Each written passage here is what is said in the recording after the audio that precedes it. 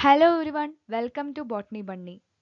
Kerala dairy development നടത്തുന്ന Kerala P S C എക്സാമായ dairy farm ഇൻസ്ട്രക്ടറിന് വേണ്ടിയിട്ടുള്ള ഒരു പ്രാക്ടീസ് സെക്ഷനുമായിട്ടാണ് ഇന്ന് ബോട്ടണി ബണ്ണ് നിങ്ങൾക്ക് മുമ്പിൽ എത്തിയിരിക്കുന്നത് ഇന്ന് നമ്മൾ ഡിസ്കസ് ചെയ്തത് ലോക്കോ മോഷൻ ആൻഡ് മൂവ്മെൻറ്റ് എന്നതിനെ ബേസ് ചെയ്തുകൊണ്ടുള്ള ചില ഇമ്പോർട്ടൻ്റ് ആയിട്ടുള്ള ചോദ്യങ്ങളും അതിൻ്റെ എക്സ്പ്ലനേഷൻസും ആണ് നമ്മുടെ ചാനൽ ആരെങ്കിലും പുതുതായിട്ട് കാണുന്നവരുണ്ടെങ്കിൽ മറക്കാതെ നമ്മുടെ ചാനൽ ഒന്ന് സബ്സ്ക്രൈബ് ചെയ്യാനായിട്ട് ശ്രദ്ധിക്കുക കൂട്ടത്തിലുള്ള ബെൽ ബട്ടണും കൂടെ അമർത്താനായിട്ട് ശ്രദ്ധിക്കുക അപ്പോഴാണ് അടുത്തൊരു വീഡിയോ നമ്മൾ പോസ്റ്റ് ചെയ്യുമ്പോൾ നിങ്ങൾക്ക് ഈസി ആയിട്ട് നോട്ടിഫിക്കേഷൻ ലഭിക്കുള്ളൂ നമ്മുടെ ടെലിഗ്രാം ചാനൽ ജോയിൻ ചെയ്യാത്തവരുണ്ടെങ്കിൽ ഡിസ്ക്രിപ്ഷൻ ബോക്സിലുള്ള ലിങ്ക് യൂസ് ചെയ്തുകൊണ്ട് നമ്മുടെ ടെലിഗ്രാം ചാനലിലും കൂടെ ജോയിൻ ചെയ്യാനായിട്ട് ശ്രദ്ധിക്കുക റീസെൻ്റ് ആയിട്ടുള്ള P S C updates study ഗ്രൂപ്പിൻ്റെ ഡീറ്റെയിൽസ് കാര്യങ്ങളൊക്കെ നമ്മൾ അവിടെയായിരിക്കും കമ്മ്യൂണിക്കേറ്റ് ചെയ്യുക മറക്കാതെ നമ്മുടെ ടെലിഗ്രാം ചാനൽ ജോയിൻ ചെയ്യാനായിട്ട് ശ്രദ്ധിക്കുക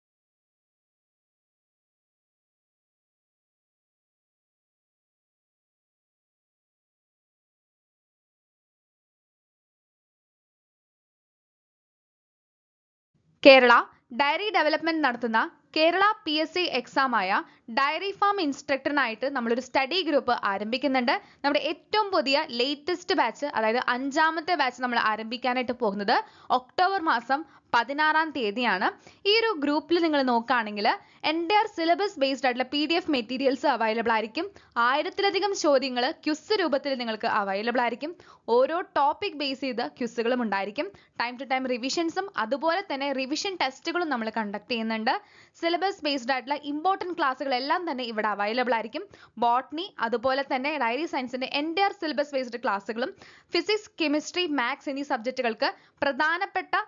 ഫോക്കസ് ചെയ്തുകൊണ്ടുള്ള ക്ലാസ്സുകളും നമ്മളിവിടെ പ്രൊവൈഡ് ചെയ്യുന്നുണ്ടായിരിക്കും ഇന്ററാക്റ്റീവ് ആയ സെക്ഷൻസ് ഉണ്ടായിരിക്കും സ്റ്റഡി ആൻഡ് മെൻഡർ സപ്പോർട്ട് ഉണ്ടായിരിക്കും സ്റ്റഡി പ്ലാനിന്റെ റിമൈൻഡേഴ്സ് ഉണ്ടായിരിക്കും ഡെഡിക്കേറ്റഡ് ആയിട്ടുള്ള ഡൗട്ട് ക്ലിയറൻസ് ഉണ്ടായിരിക്കും നിങ്ങളുടെ എൻറ്റയർ സിലബസിന്റെ കംപ്ലീഷനും ഇവിടെ ഉണ്ടായിരിക്കും നിങ്ങളുടെ ഒരു പ്രിപ്പറേഷന്റെ സെൽഫ് അനാലിസിസ് ആണ് മെയിൻ ആയിട്ട് നമ്മളിവിടെ ഉദ്ദേശിക്കുന്നത് കൂടെ കൂടെ നിങ്ങൾക്ക് റിവിഷൻസും അതുപോലെ തന്നെ നിങ്ങളുടെ പഠിച്ച ടോപ്പിക്കിനെ ബേസ് ചെയ്തുള്ള ക്യുസും നിങ്ങൾക്ക് കളിച്ചു നോക്കാവുന്നതാണ് ആ ഒരു രീതിയിൽ നിങ്ങൾക്ക് നല്ല രീതിയിലുള്ള സ്റ്റഡി സപ്പോർട്ടാണ് നമ്മളിവിടെ ഉദ്ദേശിക്കുന്നത് ഈ ഒരു ഗ്രൂപ്പിൽ എൻറോൾ ചെയ്യാൻ താല്പര്യമുള്ളവർ തന്നിരിക്കുന്ന വാട്സപ്പ് നമ്പറായ triple nine five two six four five nine six എന്ന നമ്പറിൽ കോൺടാക്ട് ചെയ്യാനായിട്ട് മടിക്കാതിരിക്കുക കൂടുതൽ ഡീറ്റെയിൽസ് ചോദിച്ചറിയാനായിട്ട് ശ്രമിക്കുക ഇവിടെ നമ്മൾ ഉദ്ദേശിക്കുന്നത് നിങ്ങളുടെ എൻ ഡി ആർ സിലബസിൻ്റെ സ്റ്റഡി സപ്പോർട്ടാണ് അപ്പോൾ അതുകൊണ്ട് തന്നെ ജോയിൻ ചെയ്യാൻ താല്പര്യമുള്ളവർ മറക്കാതെ ജോയിൻ ചെയ്യാനായിട്ട് ശ്രദ്ധിക്കുക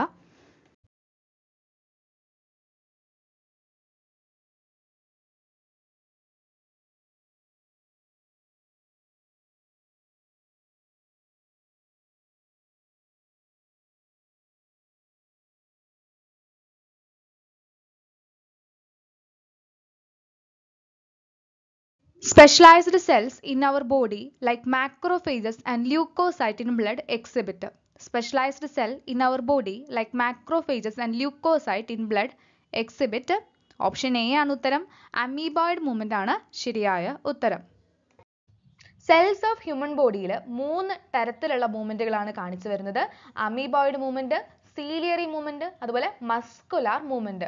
അമീബയുടെ പോലെയുള്ള ഒരു മൂവ്മെന്റിനെയാണ് അമീബോയിഡ് മൂവ്മെന്റ് എന്ന് വിളിക്കുന്നത് അപ്പോൾ നമ്മുടെ ബോഡിയിലുള്ള മാക്രോഫേജുകൾ ല്യൂക്കോസൈറ്റ് ഇവരൊക്കെ കാണിക്കുന്ന എന്ത് മൂവ്മെന്റ് ആണ് അമീബോയിഡ് മൂവ്മെന്റ് ആണ് ഇതിൽ അവർക്ക് ഹെൽപ്പ് ചെയ്യുന്നത് സ്യൂഡോപോയിഡ് എന്ന് പറയുന്ന ഒരു സ്ട്രക്ചർ ആണ് ഈ സ്യൂഡോപോയിഡ് ഫോം ചെയ്യുന്നത് സ്ട്രീമിംഗ് ഓഫ് പ്രോട്ടോപ്ലാസം വഴിയായിട്ടാണ് ഇത് നമുക്ക് അമീബയിൽ കാണാൻ സാധിക്കാറുണ്ട് അപ്പോൾ പ്രോട്ടോപ്ലാസം എന്ന് വെച്ചാൽ എന്താണ് പ്രോട്ടോപ്ലാസം എന്ന് വെച്ചാൽ സെല്ലിൻ്റെ ലിവിങ് ആയിട്ടുള്ള പാർട്ടിനെയാണ് പ്രോട്ടോപ്ലാസം എന്ന് വിളിക്കുന്നത് ഈ പ്രോട്ടോപ്ലാസത്തിലാണ് പല സെൽ ഓർഗാനിലീസിനെയൊക്കെ നമുക്ക് കാണാനായിട്ട് സാധിക്കുന്നത് അപ്പോൾ ചില സൈറ്റോസ്കെൽട്ടലായിട്ടുള്ള എലമെൻറ്റുകളായ ഫിലമെൻസ് അതായത് മൈക്രോ ഫിലമെൻറ്റുകളൊക്കെ തന്നെയും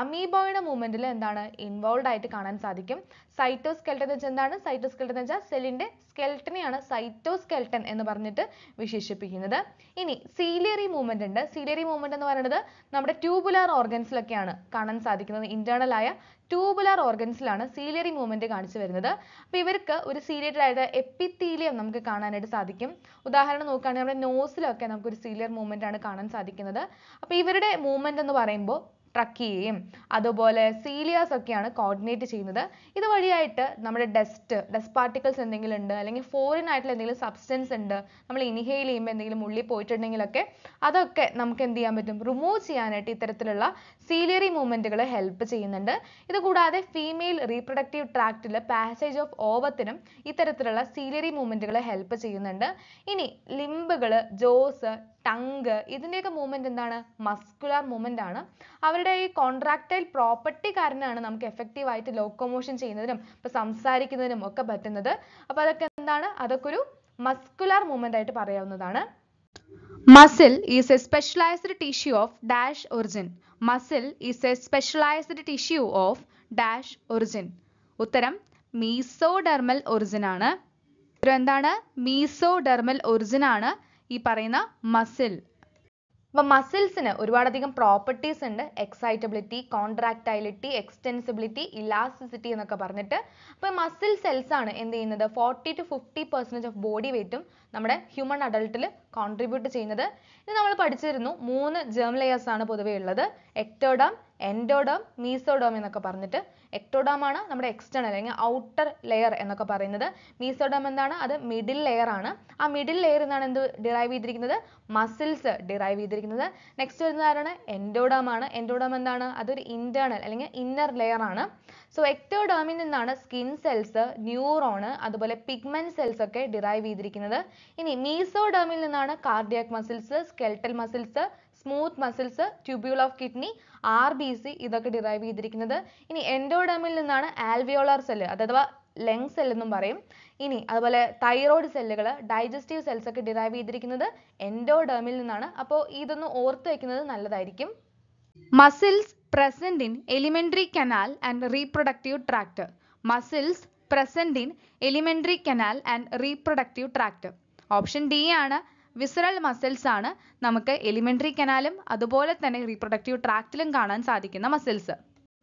ബേസ്ഡ് ഓൺ ദ ലൊക്കേഷൻ നമുക്ക് മൂന്ന് ടൈപ്പ് മസിൽസ് ഉണ്ടെന്ന് പറയാം സ്കെൽട്ടൽ മസിൽ വിസറൽ മസിൽസ് അതുപോലെ കാർഡിയാക് മസിൽസ് അപ്പോൾ പേര് സൂചിപ്പിക്കുന്ന പോലെ സ്കെൽട്ടൽ മസിൽ എന്ന് പറയുന്നത് നമുക്ക് സ്കെൽട്ടൽ കോമ്പോണൻറ്റുകളുമായിട്ട് ക്ലോസ് അപ്പിയറൻസ് ആണ് ഇവർക്ക് കാണിക്കുന്നത് ഇവർക്കൊരു സ്ട്രിപ്ഡ് അപ്പിയറൻസ് ആണ് when observed in a microscope അതുകൊണ്ട് നമ്മൾ എന്ത് വിളിക്കും അതിനെ സ്ട്രൈറ്റഡ് മസിൽസ് എന്നും വിളിക്കാറുണ്ട് ഇനി ഇവരുടെ ആക്ടിവിറ്റീസ് നോക്കിക്കഴിഞ്ഞാൽ ഇവർക്കൊരു വോളണ്ടറി കൺട്രോൾ ആണ് അതായത് ഫ്രീ ആണ് അതായത് നമ്മുടെ ബൈസെപ്സ് ലെഗ്സ് ആംസ് ഇതൊക്കെയാണ് ഇവിടെ ഇൻക്ലൂഡഡ് ആയിരിക്കുന്നത് ഇവരൊക്കെ നമ്മൾ വിചാരിച്ച് നമുക്ക് മൂവ്മെന്റ് ചെയ്യാൻ പറ്റുന്ന ഓർഗൻസ് ആണല്ലോ അപ്പോൾ അതുകൊണ്ട് നമ്മൾ വിളിക്കും വോളണ്ടറി മസിൽസ് എന്ന് വിളിക്കാൻ പറ്റും ഇനി ഇവരെ പ്രൈമറി നമ്മൾ നോക്കിക്കഴിഞ്ഞാൽ പ്രൈമറി ആയിട്ട് ഇവർ ഇൻവോൾവ് ആയിരിക്കുന്നത് ലോക്കോമോട്ടറി ആക്ഷൻസിലും അതുപോലെ ബോഡി പോസ്റ്റേഴ്സ്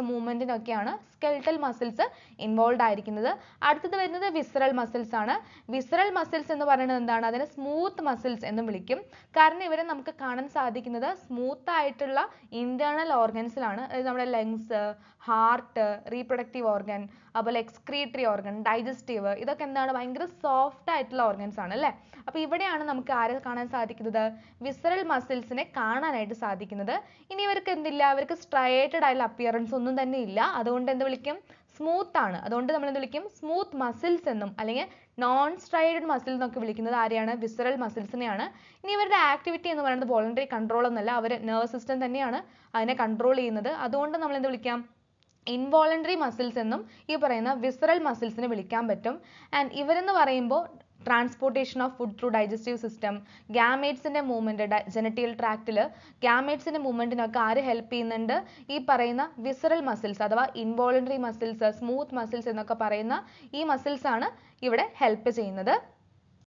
കാർഡിയാക് മസിൽസ് ആണ് അടുത്ത കാറ്റഗറി എന്ന് പറയുന്നത് കാർഡിയാക് മസിൽ എന്ന പേര് കേൾക്കുമ്പോൾ തന്നെ അറിയാം അല്ലേ അത് ഹാർട്ടിന്റെ മസിലുകളാണ് കാർഡിയാക് മസിൽ എന്ന് പറഞ്ഞ് വിളിക്കുന്നത് അപ്പോൾ കാർഡിയാക് മസിലുകളെ നമുക്കൊരു ബ്രാഞ്ചിങ് പാറ്റേണിൽ അറേഞ്ച്ഡ് ആയിട്ടാണ് കാണാൻ സാധിക്കുന്നത് അപ്പോൾ ബേസ്ഡ് ഓൺ ദി അപ്പിയറൻസ് നമുക്ക് കാർഡിയാക് മസിൽസിനെ സ്ട്രൈറ്റഡ് ആണ് എന്ന് പറയാനായിട്ട് സാധിക്കും അത് മാത്രമല്ല ഇവരുടെ ആക്ഷൻ എന്ന് പറയുന്നത് എങ്ങനെയാണ് ഇൻവോളണ്ടറി ആണ് അതുപോലെ നെർവസ് സിസ്റ്റം അല്ല ഇവരുടെ ആക്ടിവിറ്റീനെ കൺട്രോൾ ചെയ്യുന്നത് ഡയറക്റ്റ് ആയിട്ടും അപ്പോൾ നമ്മുടെ വിസ്തൃ മസിൽസ് ആയിക്കോട്ടെ കാർഡിയക് മസിൽസ് ആയിക്കോട്ടെ രണ്ടും എന്താണ് അവർക്ക് രണ്ടുപേർക്കും ഒരു ഇൻവോളണ്ടറി നേച്ചർ ആണ് കാണാനായിട്ട് സാധിക്കുന്നത് each organised skeletal muscle in our body is made up of a number of muscle bundles held together by a common collagenous connective tissue layer called as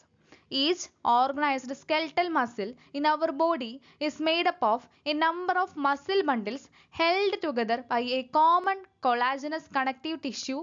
layer which is called as fascia എന്നാണ് അതിൻ്റെ പേര് muscle ഫൈബേഴ്സിനെ ലയൻ ചെയ്യുന്ന plasma മെംബ്രേനെയാണ് സാക്രോലെമ എന്ന് പറഞ്ഞ് വിളിക്കുന്നത് ഈ സാക്രോലെമയാണ് സാക്രോപ്ലാസത്തിനെ enclose ചെയ്യുന്നത് അപ്പോൾ മസിൽ ഫൈബറിനെ എന്ന് വിളിക്കും സിൻസൈറ്റിയം എന്നാണ് പറയുന്നത് സിൻസൈറ്റിയം എന്ന് പറയുമ്പോൾ അതിനകത്ത് എന്താണ് ഒരുപാടധികം ന്യൂക്ലിയസ് കാണാനായിട്ട് സാധിക്കുന്നുണ്ട് സോ എൻഡോപ്ലാസ്മിക് റെറ്റിക്കുലം അതായത് മസിലിൻ്റെ എൻഡോപ്ലാസ്മിക് റെറ്റിക്കുലത്തിനെയാണ് സാക്രോപ്ലാസ്മിക് റെറ്റിക്കുലം എന്ന് പറയുന്നത് ഈ സാക്രോപ്ലാസ്മിക് റെറ്റിക്കുലത്തിനകത്ത് നമുക്ക് കുറേയധികം കാൽഷ്യത്തിൻ്റെ സ്റ്റോറേജ് കാണാനായിട്ട് സാധിക്കുന്നുണ്ട് അതുകൊണ്ട് തന്നെ സാക്രോപ്ലാസ്മിക് റെറ്റിക്കുലത്തിനെയാണ് store house of calcium ions ആയിട്ട് പറയപ്പെടുന്നത് ഇനി ക്യാരക്ടറിസ്റ്റിക് ഫീച്ചർ ആയിട്ട് നമ്മൾ നോക്കുകയാണെങ്കിൽ മസിൽ ഫൈബറിനകത്ത് ഒരുപാടധികം പാരലൽ ആയിട്ട് അറേഞ്ച് ചെയ്തിരിക്കുന്ന ഫിലമെൻറ്റുകളെ കാണാനായിട്ട് സാധിക്കുന്നുണ്ട് അപ്പോൾ അതിനെയാണ് മയോ ഫിലമെൻറ്റ് അല്ലെങ്കിൽ മയോ ഫിംബ്രിൽസ് എന്നൊക്കെ വിളിക്കുന്നത് ഓരോ മയോ ഫിംബ്രിലിനും ഓൾട്ടർനേറ്റ് ആയ ഡാർക്കും അതുപോലെ ലൈറ്റ് ബാൻഡുകളും കാണാനായിട്ട് സാധിക്കുന്നുണ്ട് Dash joint do not allow any movement. Dash joint do not allow any movement. ഏതാണത് ഓപ്ഷൻ എ ഫൈബ്രസ് ജോയിൻ്റ് ആണ് അപ്പോൾ ഒരു തരത്തിലുള്ള മൂവ്മെൻറ്റുകളും അലൗ ചെയ്യാത്ത ജോയിൻ്റ് ആണ് ഫൈബ്രസ് ജോയിൻറ്റ് എന്ന് പറയുന്നത് ഈ ടൈപ്പ് ജോയിൻറ്റുകളാണ് നമുക്ക് ഫ്ലാറ്റ് ആയ സ്കൾ ബോണിലൊക്കെ കാണാൻ സാധിക്കുന്നത് അവർ എൻ ടു എൻഡ് ഫ്യൂസ്ഡ് ആയിരിക്കും with the help of dense fibrous connective tissue ഒരുപാട് കണക്റ്റീവ് ടിഷ്യൂസ് അറേഞ്ച് ചെയ്തിട്ട് അവർ എൻ ടു എൻഡ് കണക്റ്റഡ് ആയിരിക്കും അങ്ങനെയാണ് ക്രേനിയത്തിലും ഒക്കെ നമുക്ക് കാണാനായിട്ട് സാധിക്കുന്നത് the light band contain actin അതിനെ വിളിക്കുന്ന പേരെന്താണ് light band which contain actin ഏതാണത് ഐ ബാൻഡ് ആണ് ഓപ്ഷൻ ബി ആണ് അതിന്റെ ഉത്തരം അപ്പോൾ നമ്മൾ പറഞ്ഞായിരുന്നു മസിൽ ഫൈബറിൽ നമുക്ക് മയോ പാരലൽ ആയിട്ട് അറേഞ്ച് ചെയ്തതായിട്ട് കാണാൻ സാധിക്കുമെന്ന് അപ്പോൾ ഈ മയോഫിംബ്രിൽ എന്ന് പറയുന്നതിന് ഒരു സ്ട്രയേറ്റഡ് ആയ അപ്പിയറൻസ് ആണ് കാണാൻ സാധിക്കുന്നത് അതിന് കാരണമാകുന്നത് രണ്ട് ഇമ്പോർട്ടൻ്റ് ആയിട്ടുള്ള പ്രോട്ടീൻസ് ആണ്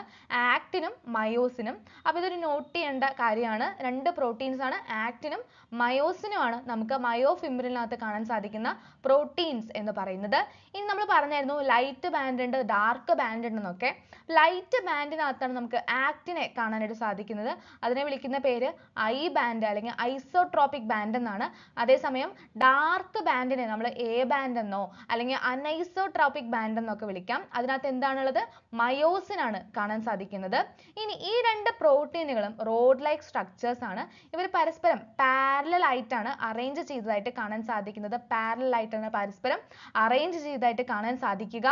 ഇനി ഇവരെ നമുക്ക് ലോഞ്ചിറ്റ്യൂഡിനൽ ആക്സിസിനോടും പാരലൽ ആയിട്ടാണ് കാണാനായിട്ട് സാധിക്കുന്നത് ഇനി ആക്റ്റിൻ ഫിലമെന്റ് എന്ന് പറയുന്നത് കുറച്ച് കൂടുതൽ തിന്നർ ആയിട്ടാണ് അതായത് കട്ടിയില്ലാതെയാണ് കാണാൻ സാധിക്കുന്നത് when compared with myosin filament. അതുകൊണ്ട് തന്നെ നമുക്ക് actin എന്ന് വിളിക്കാം ആണ് എന്ന് പറയാൻ പറ്റും അതേപോലെ മയോസിൻ എന്താണ് കുറച്ച് തിക്കായിട്ടുള്ള ഫിലമെന്റുകളാണ് മയോസിൻ എന്ന് പറയുന്നത് ഇവിടെ പിക്ചറിനകത്ത് നോക്കിക്കഴിഞ്ഞാൽ കാണാൻ നിങ്ങൾക്ക് സാധിക്കും നമ്മുടെ ഐ ബാൻഡ് കാണാൻ സാധിക്കുന്നുണ്ട് അതുപോലെ എ ബാൻഡും കാണാൻ സാധിക്കുന്നുണ്ട് അപ്പോൾ ഐ ബാൻഡിലാണ് നമുക്ക് എന്ത് കാണാൻ സാധിക്കുന്നത് ആക്റ്റിനെ കാണാൻ സാധിക്കുന്നത് ഇതേപോലെ എ ബാൻഡ് അഥവാ ഡാർക്ക് എന്ന് പറയുന്ന ഡാർക്ക് ബാൻഡിലാണ് നമുക്ക് ഈ പറയുന്ന മയോസിനെ ഇതാണ് മയോസിൻ എന്ന് പറയുന്നത് നമുക്ക് കമ്പയർ ടു നോക്കുകയാണെങ്കിൽ നല്ല തിക്ക് ആയിട്ടാണ് നമുക്ക് കാണാനായിട്ട് സാധിക്കുന്നത്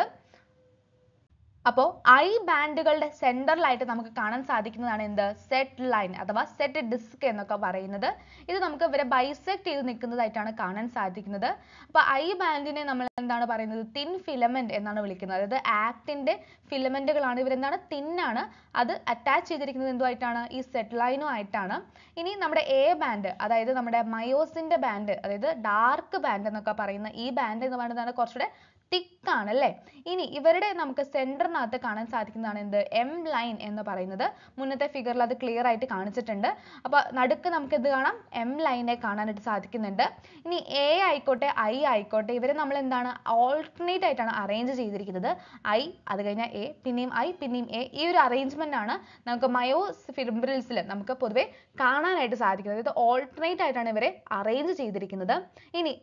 of myofibril between two successive Z ലൈനെയാണ് എന്ത് വിളിക്കുന്നത് സാക്രോമിയർ എന്ന് വിളിക്കുന്നത് അതായത്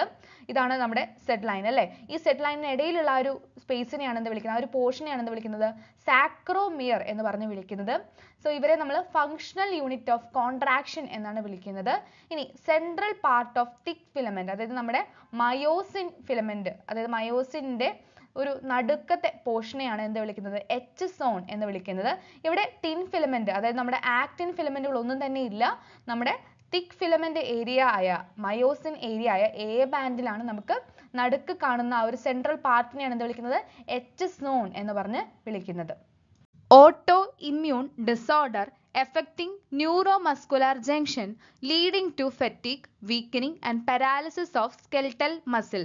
autoimmune disorder affecting muscular junction leading to fatigue weakening and paralysis of skeletal muscle option D myasthenia gravis ആണ് ശരിയായ ഉത്തരം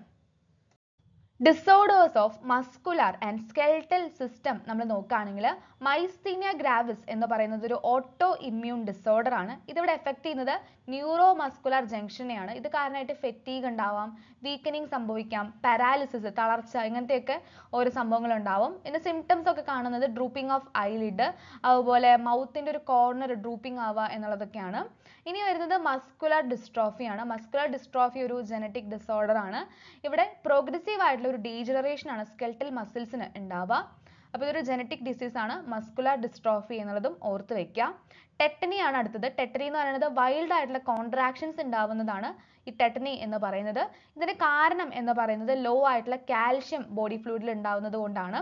കാൽഷ്യം കണ്ടത് കുറയുമ്പോഴാണ് ടെറ്റനി ഉണ്ടാകുന്നത് ഇനി ആർത്രിട്ടിസ് ആണ് അടുത്തത് ആർത്രിട്ടിസ് എന്ന് വെച്ചാൽ ഇൻഫ്ലമേഷൻ സംഭവിക്കുക എന്നുള്ളതാണ് ജോയിൻസിനകത്ത് ഇൻഫ്ലമേഷൻ സംഭവിക്കുന്നതാണ് ആർത്രിട്ടിസ് എന്ന് പറയുന്നത് അടുത്തത് ഓസ്റ്റിയോപോറസിസ് ആണ് ഓസ്റ്റിയോപോറസിസ് എന്ന് പറയുന്നത് ഒരു ഏജ് റിലേറ്റഡ് ആയിട്ടുള്ള ഡിസോർഡർ ആണ് ഇവിടെ ഫ്രാക്ചർ ഉണ്ടാവാനുള്ള ചാൻസസ് വളരെയധികം കൂടുതലാണ് കാരണം ഇവിടെ എന്താണ് ബോൺ മാസ് എന്ന് പറയുന്നത് ഡിക്രീസ്ഡ് ആവുന്നുണ്ട് ഇതിന് വേറൊരു കോസ് കോമൺ കോസ് എന്ന് പറയുന്നത് ഈസ്ട്രജന്റെ ലെവൽ എന്ന് പറയുന്നത് വളരെയധികം കുറഞ്ഞു വരുന്നത് ഓസ്റ്റിയോപോറസിന് ഒരു കാരണമായിട്ട് പറയാറുണ്ട് അടുത്തത് ഗൗട്ട് ആണ് ഗൗട്ട് എന്ന് പറയുന്നത് ജോയിന്റിൽ ഉണ്ടാകുന്ന ഇൻഫ്ലമേഷൻസ് ആണ് അപ്പോൾ ഇതിന് കാരണം എന്ന് പറയുന്നത് എന്താണ് യൂറിക് ആസിഡ് ക്രിസ്റ്റൽസിന്റെ അക്യുമുലേഷൻ കാരണമാണ് ഗൗട്ട് ഉണ്ടാകുന്നത് is myosin thick filament is also a polymerised protein many monomeric protein constitute one thick filament which is called as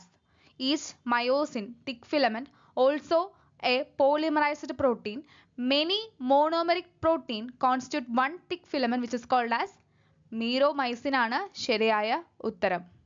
അപ്പോൾ നമ്മൾ പറഞ്ഞു മയോസിൻ എന്ന് പറയുന്നത് എന്താണ് തിക്കായിട്ടുള്ള ഫിലമെൻ്റ് ആണ് അതൊരു പോളിമറൈസ്ഡ് ആയിട്ടുള്ള പ്രോട്ടീൻ ആണ് അപ്പോൾ ഇവരുടെ മോണോമറിക് പ്രോട്ടീൻസിനെയാണ് എന്ന് വിളിക്കുന്നത് മീരോമയോസിൻ എന്ന് പറയുന്നത് അപ്പോൾ ഇവർ കോൺസ്റ്റിറ്റ്യൂട്ട് ചെയ്താണ് എന്താകുന്നത് ഒരു തിക്കായിട്ടുള്ള ഫിലമെൻ്റ് ആയിട്ട് മാറുന്നത് രണ്ട് പാർട്ടുകളാണ് മീരോമൈസിൻ ഉള്ളത് ഹെവി മീരോമൈസിനും അതുപോലെ ലൈറ്റ് മീരോമൈസിനും സോ ഹെവി മീരോമൈസിൻ എന്ന് പറയുന്നത് എന്താണ് ഗ്ലോബുലാർ ഹെഡ് പോർഷൻ ആണ് ഓഫ് മയോസിൻ സ്ട്രക്ചർ അതിനെ നമ്മൾ എന്ത് വിളിക്കും എച്ച് എം എം എന്ന് വിളിക്കാറുണ്ട് ലൈറ്റ് മീരോമൈസിൻ എന്ന് പറയുന്നത് അതൊരു ടെയിൽ പോർഷൻ ആണ് ടെയിൽ പോർഷൻ ഓഫ് മയോസിൻ സ്ട്രക്ചറിനെയാണ് നമ്മൾ ലൈറ്റ് മീരോ മയോസിൻ എന്ന് വിളിക്കുന്നത് അതിനെ എൽ എം എം എന്നും വിളിക്കാം. സോ നമ്മുടെ മീഡോമയേഴ്സിന് രണ്ട് പാർട്ടുകളാണുള്ളത് എൽ എം എമ്മും അതുപോലെ എച്ച് എം എമ്മും ഇനി എച്ച് എം എമ്മിൽ നോക്കിക്കഴിഞ്ഞാൽ നമുക്ക് ഹെഡ് കാണാൻ സാധിക്കും അതുപോലെ ഒരു ഷോർട്ട് ആമും കാണാൻ സാധിക്കും ഇവർ തമ്മിലാണ് നമുക്ക് ഒരു ക്രോസ് ആം ഫോർമേഷൻ ഇവിടെ നമുക്ക് കാണാൻ സാധിക്കുന്നുണ്ട് ഇനി ഗ്ലോബുലർ ആയിട്ടുള്ള ഹെഡ് എന്ന് പറയുമ്പോൾ അതിനകത്ത് കുറേ അധികം A T P A T P S എൻസൈമുകളൊക്കെ നമുക്ക് കാണാൻ സാധിക്കുന്നുണ്ട് ബൈൻഡിങ് സൈറ്റുകളെ കാണാൻ സാധിക്കുന്നുണ്ട് അതുപോലെ ആക്റ്റീവ് സൈറ്റുകളുണ്ട് ആക്റ്റിൻ ബൈൻഡിങ്ങിനൊക്കെ വേണ്ടിയിട്ട് ഇതൊക്കെയാണ് നമുക്ക് മീരോമൈസിനിൽ കാണാൻ കാണാനായിട്ട് സാധിക്കുന്നത്